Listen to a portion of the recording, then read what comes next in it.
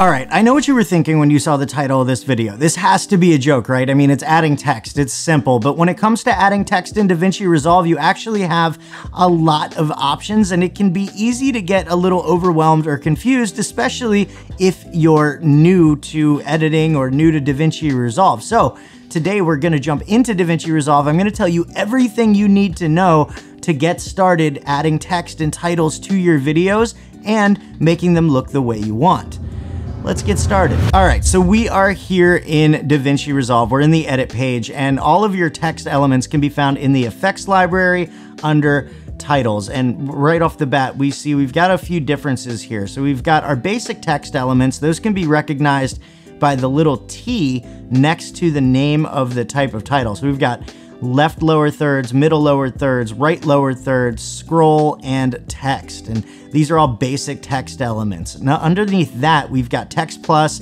and a whole bunch of other titles that have lightning bolts next to them, and those are fusion titles. So those are actually rendered out as fusion elements, and we'll get into that in just a little bit. And then below all of that, we've got our subtitles, and I've made a video about subtitles. I'll have it linked below, but we'll dive into it a little bit in this video as well. Let's start off by just adding a basic text element to our video. So we're gonna go ahead and we're gonna bring a text element over and you can see that I'm doing it just like I would any other video clip. It goes on its own video track and you can see now we've got a title overlaid on top of our video. And if we wanna change this around, all of the controls can be found in the inspector on the right. Now, if you don't see the inspector, just go ahead and click inspector and that should pop up. Right at the top, we've got a text box. This is where we can change what our title says. So we're gonna go ahead and click adventure. If I could spell correctly, that would be great. Thank you very much. And underneath the text box, we can change our font family. We're gonna go with Open Sans and we can change it from normal, bold, italic, bold, italic. Let's see what bold looks like. I don't like bold. We're gonna go with normal. And then from there, it's a bunch of basic like word processor controls. So we've got our size. Go ahead and increase that a little bit. We can increase the tracking, which is the spacing between the letters. If we want to increase the line spacing, if we have text on multiple lines, we can do that. Our font style, this will give us an underline, an overline, a stroke, and then we'll change and relocate the text with these two right here. Let's go ahead and reset all of that. And then here, font case, we can make it so it's all caps, all lowercase, small caps, and title caps. We're gonna go with all caps. Ooh, made a little bit too big. Let's go ahead and bring that down. And then below that, we can change our horizontal and vertical anchor, our text alignment. I usually for titles keep them centered. And then position, we can move it up, left, right, up, down, all that stuff. And then to reset that, you can either double click on position or you can hit this little reset button and that'll bring it back to its original state. And below that, we've got zoom, so we can zoom in, zoom out, do all that stuff. Now below our basic text controls, we've got drop shadow. So we can change the color of our drop shadow if we want, but I actually want to keep this black. So we're gonna go ahead and cancel that out. And we can add an offset. So I'm gonna move this slightly to the right and slightly down. That looks good right there. We can blur the drop shadow if we want, which I think is a nice look. And we can change the opacity of the drop shadow. Below drop shadow, we've got stroke, so we can add a little stroke around the outline of our letters. Let's go ahead and create a red stroke. Okay, and we can change the size. And now we've got a nice red stroke around the outline of our text. And then below background, we can add a background to our text and we can change the color of that background. We can change the color of the outline of that background. We can change the width of the outline, the width of the background.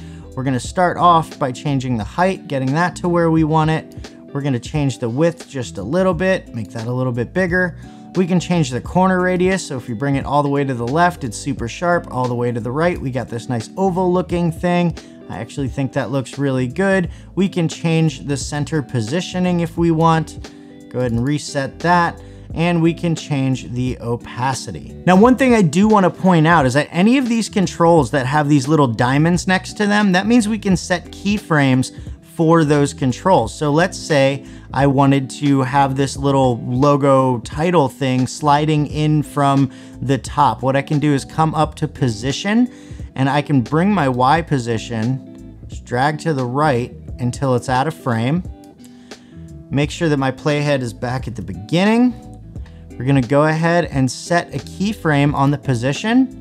Let's move forward six frames. One, two, three, four, five, six. And then we'll reset our position. It'll add a keyframe automatically. And now if we go and we play this back, you'll see we've got a nice little slide in title. It's got a background, a stroke. I really like the colors. It actually pops against the background. I think I think we're good to go there. And all of those controls are available in all of the basic text elements. So all of your lower thirds, your scrolling text, you can do all of that stuff with them. The only difference is with lower thirds, you may have two lines and in that case there will be two separate text boxes. So you just want to make sure that you add your text in both. All right, let's go ahead and get rid of this text element. And let's go ahead and drag text plus onto our videos. Now, like I said, these text elements that have a lightning bolt next to them, these are all fusion elements. So these are gonna render out just like any other fusion project. And you'll see that once I drag this on, we actually have a red line here, and then when it turns blue, it's all rendered out. So if you have a computer with maybe less RAM than you should, DaVinci Resolve recommends at least 32 gigabytes of RAM in order to use Fusion. If you're working with 8 or 16, you might have some trouble playing back or you may just have to wait longer for everything to render. For now, let's go ahead and do some stuff with this title. So again, we've dragged the element onto its own video track. It's overlaying the video. And if we come into our inspector, we've got most of the same controls, but we've got some extra stuff too. Let's go over that. So first, let's go ahead and do the same thing. We'll add adventure. This time I'm gonna type it in all caps. And we'll keep the Open Sans font, but we're gonna make it light instead of bold, and we're going to increase the tracking. And like I said, a lot of these controls are the same, like size, tracking, line spacing, vertical and horizontal anchors, vertical and horizontal justifications, but we do have some new stuff as well, like direction. We can change from left to right to right to left, and this will actually reverse the order of the letters. We can do top down or bottom up if we want vertical text. And then we also have this write on control. So if we want maybe, let's first go ahead and go back to left to right. If we want to have this write onto the screen, what we can do is bring this all the way down here. So the text disappears and what we'll do is we'll set a keyframe We'll move forward six frames, one, two, three, four, five, six, and we'll just drag this right dot out until all of our letters are showing. There we go. Wait for that to render. And now if we play that back, it writes onto the screen and then we can go the opposite direction. Let's say we want it to write off. We can go back one, two, three, four, five, six, seven frames go ahead, set a keyframe, and then one, two, three, four, five, six, drag the left dot over to the right dot. And now if we play through the second half of that text element, the text disappears. Now if we come over here to our layout and our transform sections, this will actually deal less with just the text and more with the actual frames. You can change the center position, you can change the size, the perspective, you can add a background, you can rotate it. But like I said, that controls the entire frame and not just the text. So what we're gonna do is we're going to move on to the shading section. And this is where we can start to do some really, really cool stuff. So we can go in our properties, let's say instead of a solid fill, we want to do outline only. So we can click that in appearance and now we've got outline only there and we can actually change the opacity of that. If we want, we can change the blending mode, we can change the thickness. I actually wanna make this just a little bit thinner. We can change the join style, which is actually basically just corner radius for all of this text. So right now it's slightly rounded. If I hit this left one, we've got it a little bit more rounded. And then if I go to the icon all the way on the right, it's perfectly square. So we're actually gonna go with more rounded here. And we can change our line style from solid to maybe dash or dot or dash dot or dash dot dot. I actually kind of like dash dot dot. It looks a little bit like stars. Then we can go ahead and change the color of our text. So let's go ahead and maybe do a, oh, I don't know. Let's go ahead, do some kind of teal turquoise looking thing. And then below all of these controls, we've got softness. So we can increase the softness of our X axis and our Y axis. And then we can add a glow a little bit too much. We can add a glow to our blur like that. And then we can change the blend. So if I bring it down, it'll go back to normal bring it back up, that glow will come. And we can actually keyframe that blend. So let's say we wanted to do like a neon effect, we could keyframe that blend so it just comes off and on really, really quickly and we can get like a like flickering on, something like that. Below that, we've got our position controls where we can do offsets on our X, Y, and Z axis. And then below that is rotation, which is really cool. Let's say I wanted to flip it upside down. I could have the entire thing flipping upside down. I could spin the letters on the y-axis and I can spin it on the z-axis. And again, you can add keyframes to all this stuff. Below rotation, you've got shear. So if you want to slant those letters a little bit, you can do that. And you can do that for the X or the Y axis. And then finally, we've got size and you can change the size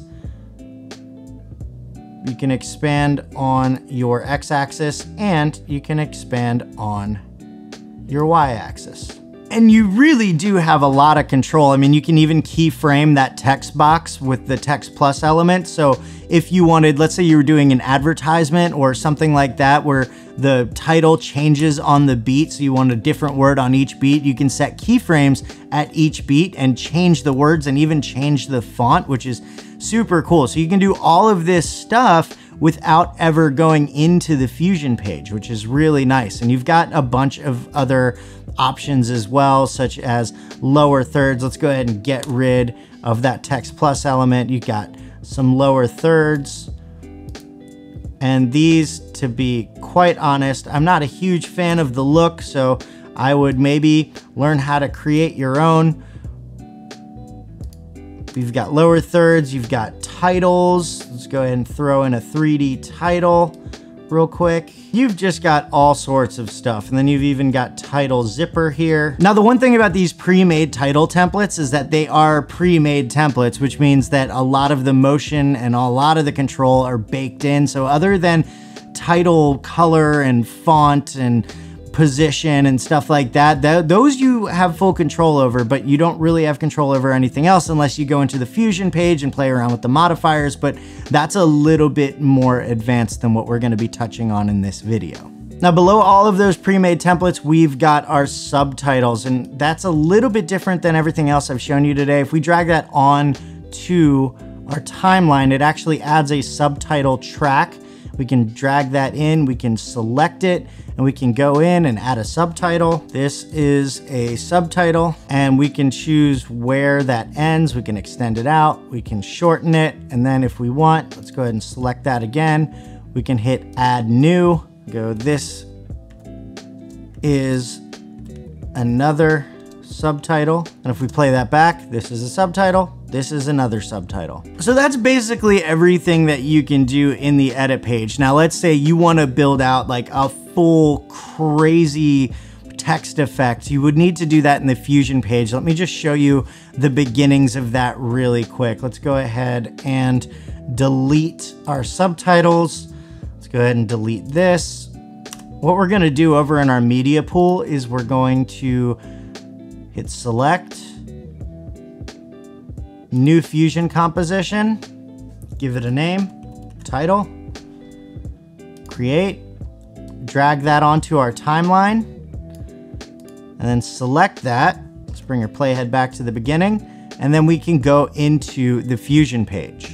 And then from there, we can add a text element we can connect it to our media out and then you can do all sorts of cool stuff with the effects that are available in Fusion, including the write on text effect. If you wanna learn more about that, you can check out this video right here. And for more tools, tips, and tricks that'll make you a better video editor, make sure you subscribe to the channel and hit that bell so you don't miss anything. Thanks for watching, and I'll see you in the next one.